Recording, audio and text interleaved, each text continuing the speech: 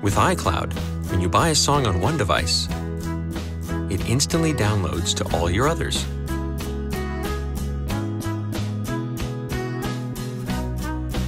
Take a picture here, and it shows up there. Start a project in one place and pick up right where you left off in another.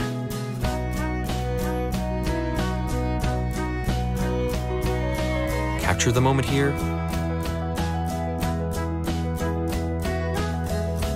and it's waiting for you there. Make a change on this, and it updates on that.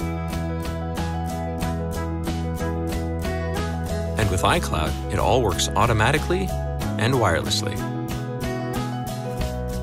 So you always have the things you want exactly where you want them.